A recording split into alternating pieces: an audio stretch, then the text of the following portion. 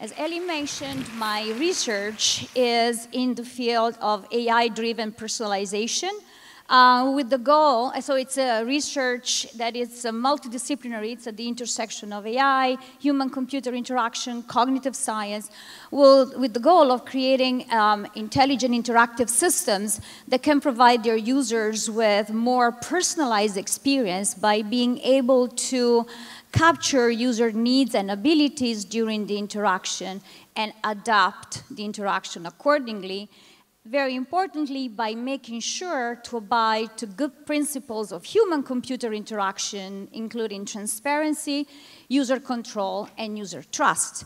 And uh, in order to do that, it's important that the system is able to build a model of the user, user model, where a variety of um, user traits or states can be captured, including goals, uh, domain expertise, preferences, and even more esoteric things such as emotions, metacognitive abilities, cognitive load. And in order to do that, the system, the AI, needs to rely on whatever information comes from the interaction which could be basic interaction events, but these days we also have information coming from more sophisticated input sources, such as, for instance, signal from physiological sensors that can tell us about the user affect, information from how the user look at the interface.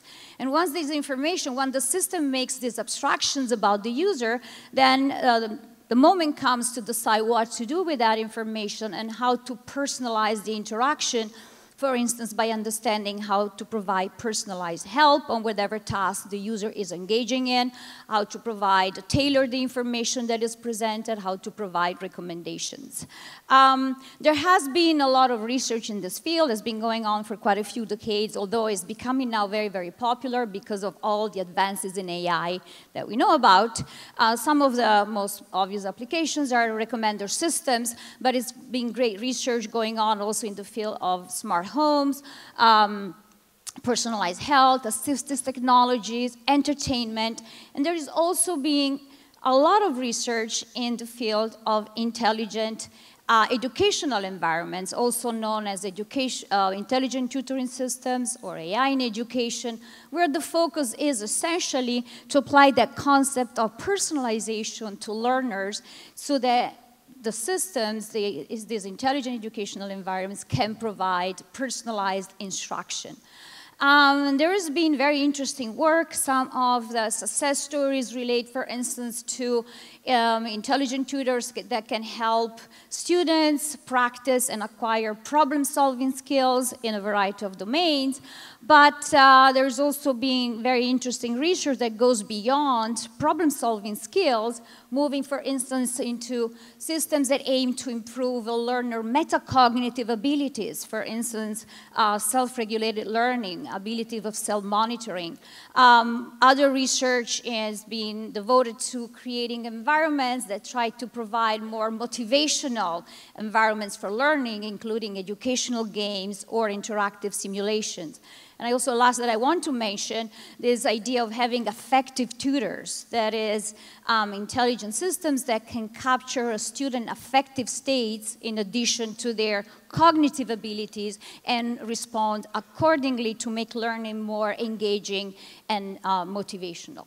Uh, but today, so I've done work in several of these uh, subfields, and I'll be happy to talk to you maybe after my talk. But today, what I want to focus about is this concept that whatever is the field in which the system should provide personalization, the main point is that we want that to happen in a way that, again, is transparent and maintains user control and trust. And this brings to this point of trust in AI, which is a topic of great concern these days. There's a lot of initiatives that are being um, uh, created about you know, how to create AI systems that enable their users to understand when what the AI proposes and suggests is valuable and should be followed, and when um, maybe there are limitations and the users should, should, disregard the AI advice, like in the example of HAL it, from the movie that we saw at the very beginning.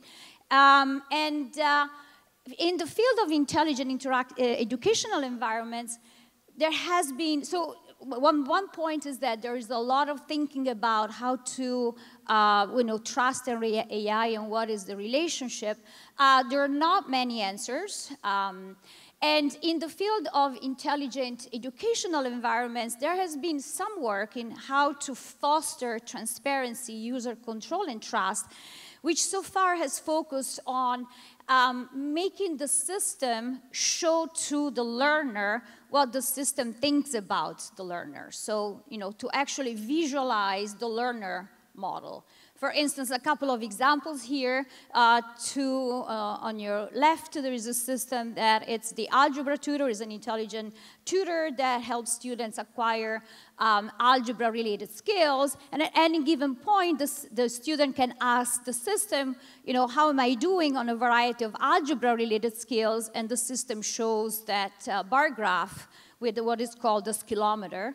On the right is a similar idea applied to a system that helps uh, people acquire how to, you know, skills to provide good job interviews. So the system monitors a variety of behaviors related to how you actually move during an interview, how you speak. And again, at any given point, the system shows to the learner what is the current assessment along all these skills. This is very good, and there's some initial um, studies showing that just showing to the learner what the system, you know, what is the current system assessments of the skills can be useful, makes the learner learn better, but there is still not a very clear understanding on how having this level of transparency relates to learner, to trust and user acceptance of the system. Um, another approach to showing just what the system thinks, it's also, it's understand um, enable the system to actually explicitly explain, not just show what the system thinks, but how the system got to that point. Okay? This goes back to David's talk, which is great that was just before me because he really gave a great introduction to the, this concept of explanation as a tool. Um, so how does it help if the system can explain its underlying reasoning? Um, and this is uh, a field that is explainable AI, so a lot of research goes into can AI and machine learning, and this, some of them, some of these techniques are more black boxes than others, but can they be explained to the user? Is it possible for the system to explain why, how, what if, provide alternative scenarios? Uh, there is a lot of research, but my interest is when, so explanation, as David said, is a tool. When it's actually important to provide explanations, which users want explanations and can use them in a way that increase their trust in the technology that they're using. Um, and along these lines, uh, in our group, so we have tried, so we developed an intelligent um, educational environment that it's an interactive simulation which is designed to help learners understand how a specific algorithm to solve constraint satisfaction problems work. Essentially, it's just, uh, it's a tool where examples are available and the learner can just load these examples and use a variety of functionalities to understand the underlying workings of this algorithm for constraint satisfaction. Uh, the problem is interactive simulations are very open-ended. Some learners are very good at using them. Others might get lost, get stuck on using one functionality instead of all the ones available. So we added to the system um, a bit of AI that tracks how a learner is using the simulation the system has an understanding of what are good behaviors that are conducive to learning when using this tool and what are behaviors that are not conducive to learning and the system can provide personalized hints that try to steer learning, uh, learners in using the system at best. And we have some studies showing that having this personalized help on how to use this educational interactive simulation improves learners' um, benefit from using the system than when these hints are not available. But what we are trying to understand now is could these hints be even more useful for the learners if the system could explain why and how they were generated? Okay? Well, easy, easier to say than done. This is the underlying AI. I don't expect you to understand this graph. It's what the system does to generate these personalized hints is a mix of data mining, machine learning, and some other AI techniques, very complex. Um, what we did, so we started thinking about how we can generate explanations for the users of how these hints are generated. Um, and we looked at what's in the literature about how these explanations should be built. There isn't much, um, but we picked uh, three principles that were presented in this paper at CHI 2018, where the idea is that explanations should be incremental. There should be level, different levels of details available to the user to explore at will. Uh, they should be sound, that is, they should provide a faithful description of how the underlying AI works, and also should not be overwhelming, which there is a bit of a tension between being faithful and sound when the underlying complexity is high and not being overwhelming. So we grappled a lot with how to generate explanations for this particular educational environment. And um, we came up, I don't, again, I don't expect you to read the content. I just want you to grab the concept that we created these five different levels of uh, explanations that the learner can access and can navigate as they like. Um, Three of them relate to explaining why the system generated a specific hint to the learner during the interaction and attacks, uh, looks, looks at different aspects of the process of the big graph that I showed you earlier. To explain more like how specific components of uh, the underlying AI work. Um, and um, we're currently, as I speak, running a user study where we have learners come in our lab, use this uh, um, interactive simulation with the personalized hints and access to explanations. And what we want to monitor is if and how much learners access the explanations, how this uh, using of explanations actually affects how they learn from the system, how much they follow the hints, and how much they believe the hints are useful.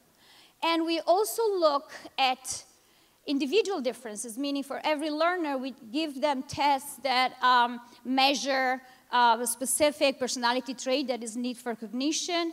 Uh, we give them um, tests for measuring how their curiosity, because curiosity should be related to how much one needs and wants and can use explanations. And we also test them for abilities that relate to how easy it would be for them to process the textual and visual material that we have in the explanation.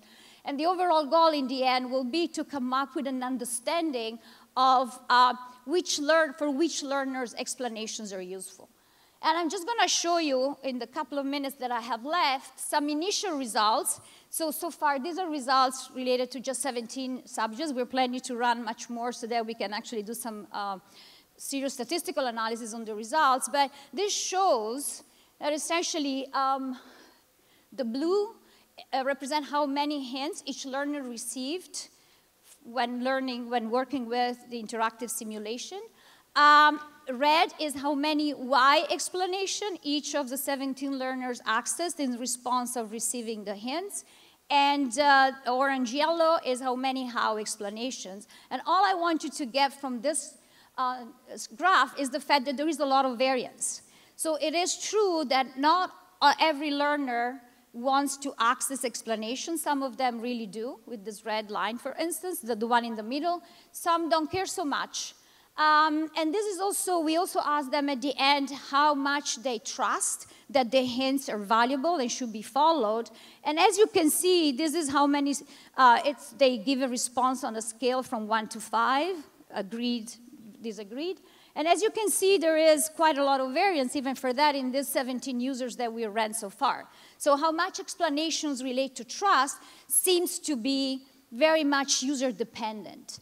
Uh, and the long-term goal after we're done running our subject will be to really create a better understanding on which learners need the explanation so that we can add to the AI in the system not just the ability of providing personalized hints, but also the ability to provide personalized explanations generated by the system to the learners that need them the most. And the overall long-term vision is really to be able to create um, personalized, trust-aware educational environments that can somehow, in addition to modeling the traditional goals uh, and properties of the user, are also able to somehow understand what's happening with user trust and also are capable of understanding how to use explanations to foster distrust when needed. Okay, thank you very much for your kind attention.